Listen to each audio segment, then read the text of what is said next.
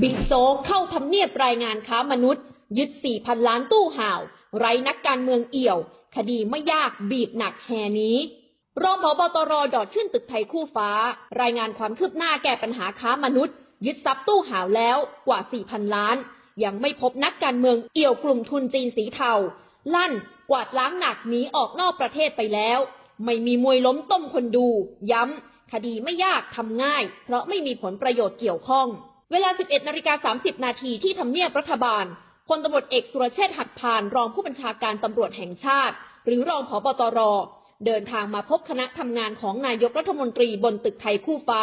ก่อนเปิดเผยถึงความคืบหน้า การกวาดล้างกลุ่มทุนจีนสีเทาว่า ล่าสุดได้เข้าตรวจค้นกลุ่มทุนจีนของนายชัยนัทกรชัยนันหรือตู้ห่าว ซึ่งเข้าตรวจค้นไปแล้ว 4 จุด รวมมูลค่ากว่า 4,000 ล้านบาท จากนั้นจะนำข้อมูลทางการเงินมาตรวจสอบหาความเชื่อมโยงเส้นทางการเงิน จากคณะกรรมการป้องกันและปราบปรามยาเสพติด หรือปปส และสำนักงานป้องกันและปราบปรามการฟอกเงิน หรือปปง เพื่อหาหลักฐานเพิ่มเติม ทั้งนี้ทรัพย์สินที่ยึดได้มีทั้งรถ150คัน ที่ดินและเครื่องบิน โดยจากนี้จะดำเนินการยึดโรงแรมต่อไป และที่สำคัญต้องตรวจสอบว่ามีเงินสดอยู่ตรงไหน ซึ่งฝ่ายสอบสวนกำลังดูอยู่ และจะเร่งทำให้เร็วที่สุด ส่วนเรื่องรายงานนายก เรื่องนี้ผู้บัญชาการตำรวจแห่งชาติ หรือผอบตร ได้รายงานอยู่แล้ว พบว่าเบื้องต้นยังไม่พบเชื่อมโยงกับนักการเมือง แต่วันนี้กำลังรวบรวมข้อมูลทั้งหมดและนำมาวิเคราะห์ เส้นทางการเงิน หลังจากวิเคราะห์ จะสาวถึงใครคนไหน ก็ต้องมาว่ากันอีกที ถ้าไม่ถึงก็ว่าตามนั้นพลตำรวจเอกสุรเชษฐ์กล่าวยืนยันจะใช้เวลาไม่นานในการตรวจสอบ วันนี้ได้เร่งการทำงานไปแล้ว คิดเป็นเปอร์เซ็นต์ถึงร้อยละ90เปอร์เซ็นแล้ว เนื่องจากส่วนตัวพยายามเร่งทำงาน และอย่าลืมว่าตนเองก็รับผิดชอบคดีเยอะ ก็ต้องทุ่มเทเวลาคดีนี้ให้มาก เพื่อให้คดีจบเร็ว จะได้ทำอย่างอื่นต่อ อย่างไรก็ตามจะทำอย่างรอบคอบ เพราะบุคคลเหล่านี้มีทนายความ มีนักกฎหมายที่เก่ง เนื่องจากมีเงินเยอะ เอาไว้สู้กับคนที่มีฐานะทางการเงินที่สูง ดังนั้นต้องทำอย่างรอบคอบและต้องบังคับใช้กฎหมายอย่างรวดเร็วและเป็นธรรมพลตำรวจเอกสุรเชษฐ์กล่าวอีกว่า วันนี้ทุนจีนในประเทศไทยได้หนีไปเยอะแล้ว หลังจากที่ดำเนินการจับกลุ่ม และพบว่ากลุ่มที่หลบหนีจากจีนมาอยู่กัมพูชา เมื่อกัมพูชากวาดล้างหนักก็มาที่ประเทศไทย และไปประเทศลาว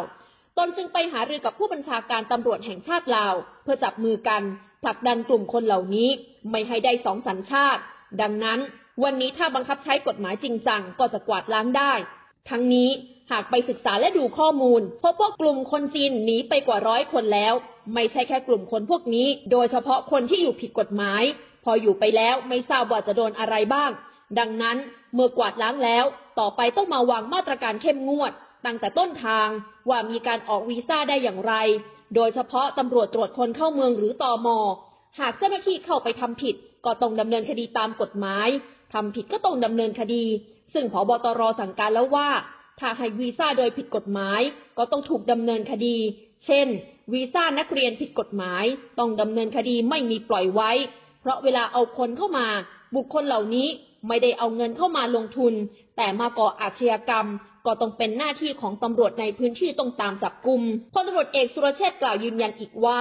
คดีนี้ไม่มีมวยล้ม ถ้าตนทำคดีเองเพราะยึดหลักการคือไม่มีผลประโยชน์ จึงทำให้ตัดสินใจได้ง่าย และตนก็ทำงานง่าย เพราะเรื่องนี้ทำสบายใจมากทำงานอย่างตรงไปตรงมา แต่มันอาจจะเหนื่อยจะเครียดด้วยเอกสารเนื้อหาเยอะ ดังนั้นต้องพิจารณารอบคอบ โดยคดีนี้ต้องใช้คนเยอะกำลังเยอะ แต่เราเป็นตำรวจจะต้องทำดังนั้นเมื่อไหร่ก็ตามเมื่อไม่มีผลประโยชน์จะตัดสินใจง่าย รับรองเรื่องนี้ไม่มีมวยล้ม อย่างไรก็ตาม วันนี้ยังได้รายงานความคืบหน้าปัญหาการค้ามนุษย์ให้กับคณะทำงานนายกได้รับทราบ เนื่องจากทางสหรัฐอเมริกาได้ชื่นชมไทย และไทยถูกจัดอันดับอยู่ที่ Tier สองก็พยายามเร่งรัดการปราบปรามบังคับใช้กฎหมายอย่างเต็มที่ หลังจากตนได้รับมอบหมายเรื่องนี้ ก็จะใช้กฎหมายเข้ามาดำเนินการคดีอย่างจริงจัง